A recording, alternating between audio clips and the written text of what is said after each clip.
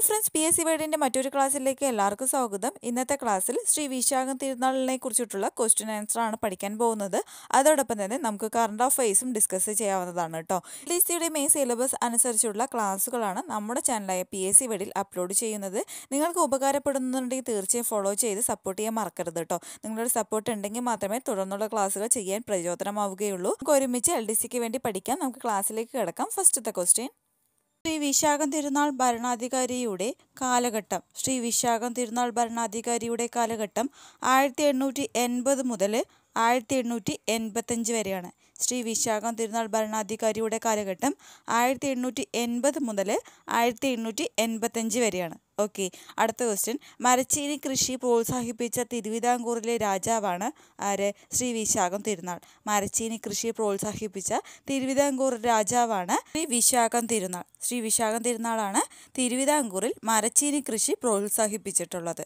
Okay. Shri വിശാഖം തിരുനാളിന്റെ സ്മരണാർത്ഥം നാമകരണം ചെയ്ത മരച്ചീനി ഇനം ഏതാണ്? ശ്രീ വിശാഖം തിരുനാളിന്റെ സ്മരണാർത്ഥം നാമകരണം ചെയ്ത മരച്ചീനി ഇനം ശ്രീ വിശാഖ്. ശ്രീ വിശാഖാണ് ശ്രീ വിശാഖം തിരുനാളിന്റെ സ്മരണാർത്ഥം നാമകരണം ചെയ്ത മരച്ചീനി ഇനം. എന്തൊക്കെ നമ്മൾ പഠിച്ചു? ആയിരത്തി എണ്ണൂറ്റി എൺപത് മുതൽ ആയിരത്തി എണ്ണൂറ്റി എൺപത്തഞ്ച് വരെയാണ് ശ്രീ വിശാഖം തിരുനാൾ ഭരണാധികാരിയുടെ കാലഘട്ടം. മരച്ചീനി കൃഷി പ്രോത്സാഹിപ്പിച്ച തിരുവിതാംകൂർ രാജാവ് ആരാണെന്ന് ചോദിച്ചാൽ ആരാണ്? ശ്രീ വിശാഖം തിരുനാളാണ്. ശ്രീ വിശാഖം തിരുനാളിന്റെ സ്മരണാർത്ഥ നാമകരണം ചെയ്ത മരച്ചീനി ഇനം ഏതാണ്? ശ്രീ വിശാഖാണ്. ഓക്കെ അടുത്ത ക്വസ്റ്റ്യൻ മുല്ലപ്പെരിയാർ പാട്ടക്കരാർ എഴുതി തയ്യാറാക്കുന്ന സമയത്ത് തിരുവിതാംകൂർ രാജാവ് ആരാണ്? മുല്ലപ്പെരിയാർ പാട്ടക്കരാർ എഴുതി തയ്യാറാക്കുന്ന സമയത്ത് തിരുവിതാംകൂർ രാജാവാണ് ശ്രീ വിശാഖം തിരുനാൾ. ശ്രീ വിശാഖം തിരുനാളിന്റെ കാലത്താണ് മുല്ലപ്പെരിയാർ പാട്ടക്കരാർ എഴുതി തയ്യാറാക്കിയിട്ടുള്ളത്. ഓക്കെ. മുല്ലപ്പെരിയാർ പട്ടക്കരാറിനെ എന്റെ ഹൃദയം രക്തം കൊണ്ടാണ് എഴുതുന്നത് എന്ന് വിശേഷിപ്പിച്ച തിരുവിതാംകൂർ രാജാവ് ആരാണ്? മുല്ലപ്പെരിയാർ പാട്ടക്കരാറിനെ എന്റെ ഹൃദയ രക്തം കൊണ്ടാണ് എഴുതുന്നത് എന്ന് വിശേഷിപ്പിച്ച തിരുവിതാംകൂർ രാജാവാണ് വിശാഖം തിരുനാൾ. അടുത്ത ക്വസ്റ്റ്യൻ തിരുവിതാംകൂറിലെ ആദ്യത്തെ പരുത്തി മില്ല് കൊല്ലത്ത് ആരംഭിച്ചപ്പോൾ തിരുവിതാംകൂർ രാജാവ് ആരാണ്? തിരുവിതാംകൂറിലെ ആദ്യത്തെ പരുത്തി മില്ല് കൊല്ലത്ത് ആരംഭിച്ചപ്പോൾ തിരുവിതാംകൂർ രാജാവായിരുന്നു ശ്രീ വിശാഖം തിരുനാൾ.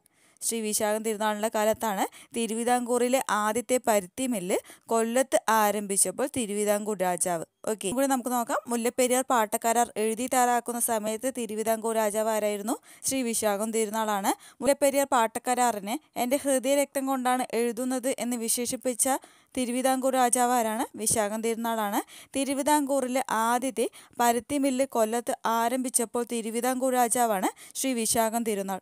അടുത്ത ക്വസ്റ്റ്യൻ തിരുവിതാംകൂറിലെ പോലീസ് വിഭാഗത്തെ പുനഃസംഘടിപ്പിച്ച തിരുവിതാംകൂർ രാജാവ് ആരാണ്? തിരുവിതാംകൂറിലെ പോലീസ് വിഭാഗത്തെ പുനഃസംഘടിപ്പിച്ച തിരുവിതാംകൂർ രാജാവാണ് ശ്രീ വിശാഖം തിരുനാൾ. നാഞ്ചിനാട്ടിലെ ജലസേചന പദ്ധതി വികസിപ്പിച്ച തിരുവിതാംകൂർ രാജാവ് ആരാണ്? നാഞ്ചിനാട്ടിലെ ജലസേചന പദ്ധതി വികസിപ്പിച്ച തിരുവിതാംകൂർ രാജാവാണ് ശ്രീ വിശാഖം തിരുനാൾ. തിരുവിതാംകൂറിലെ പോലീസ് വിഭാഗത്തെ പുനഃസംഘടിപ്പിച്ച തിരുവിതാംകൂർ രാജാവ് ശ്രീ വിശാഖം തിരുനാൾ.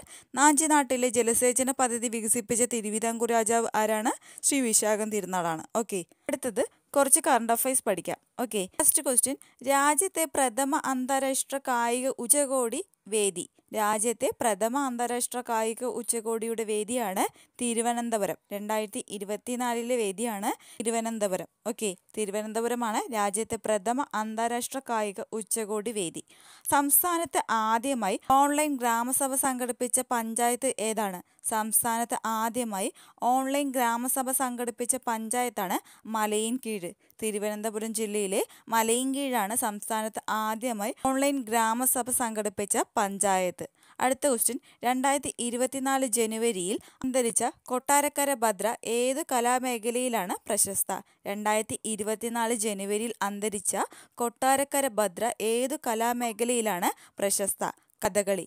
കഥകളിയാണ് രണ്ടായിരത്തി ഇരുപത്തിനാല് ജനുവരിയിൽ അന്തരിച്ച കൊട്ടാരക്കര ഭദ്ര പ്രശസ്തിയായിട്ടുള്ളത്. ഓക്കെ കൂടി നമുക്ക് നോക്കാം. രാജ്യത്തെ പ്രഥമ അന്താരാഷ്ട്ര കായിക ഉച്ചകോടിയുടെ വേദി എവിടെയാണ്? തിരുവനന്തപുരം. സംസ്ഥാനത്ത് ആദ്യമായി ഓൺലൈൻ ഗ്രാമസഭ സംഘടിപ്പിച്ച പഞ്ചായത്ത് ഏതാണ്? ലേൻകീഴ് രണ്ടായിരത്തി ഇരുപത്തിനാല് ജനുവരിയിൽ അന്തരിച്ച കൊട്ടാരക്കര ഭദ്ര ഏത് കലാമേഖലയിലാണ് പ്രശസ്ത? കഥകളി. നമുക്ക് അടുത്ത ക്വസ്റ്റോട്ട് പോവാം. ഏഷ്യൻ കപ്പ് ഫുട്ബോൾ രണ്ടായിരത്തി ഇരുപത്തി മൂന്നിലെ വേദി. ഏഷ്യൻ കപ്പ് ഫുട്ബോൾ രണ്ടായിരത്തി ഇരുപത്തി മൂന്നിലെ വേദിയാണ് ഖത്തർ. മത്സ്യഫെഡിന്റെ കേരളത്തിലെ ആദ്യത്തെ കേരള സീ ഫുഡ് കഫേ നിലവിൽ വന്നത് എവിടെയാണ്? മത്സ്യഫെഡിന്റെ കേരളത്തിലെ ആദ്യത്തെ കേരള സീ ഫുഡ് കഫേ നിലവിൽ വന്നിട്ടുള്ളത് ആഴക്കുളം വിഴിഞ്ഞത്താണ്. ഓക്കെ ഒന്നും കൂടി നമുക്ക് നോക്കാം. ഏഷ്യൻ കപ്പ് ഫുട്ബോൾ രണ്ടായിരത്തി ഇരുപത്തി മൂന്നിലെ വേദി ഖത്തറാണ്. മത്സ്യഫെഡിന്റെ കേരളത്തിലെ ആദ്യത്തെ കേരള സീ ഫുഡ് കഫേ നിലവിൽ വന്നത് ആഴക്കുളം വിഴിഞ്ഞത്താണ്. ഫ്രണ്ട്സ് ഇന്നത്തെ ക്ലാസ് നിങ്ങൾക്ക് ഉപകാരപ്പെട്ടു എന്ന് വിചാരിക്കുന്നു. ഉപകാരമായിട്ടുണ്ടെങ്കിൽ തീർച്ചയായും ലൈക്ക് ആൻഡ് ഷെയർ ചെയ്ത് സപ്പോർട്ട് ചെയ്യാൻ മറക്കരുത് കേട്ടോ ഇതുവരെ സബ്സ്ക്രൈബ് ചെയ്യാത്തവരാണ് തീർച്ചയായും സബ്സ്ക്രൈബ് ചെയ്യുക. തൊട്ടടുത്തുള്ള ബെല്ലേക്കും കൂടി ക്ലിക്ക് ചെയ്യാനും മറക്കരുത്.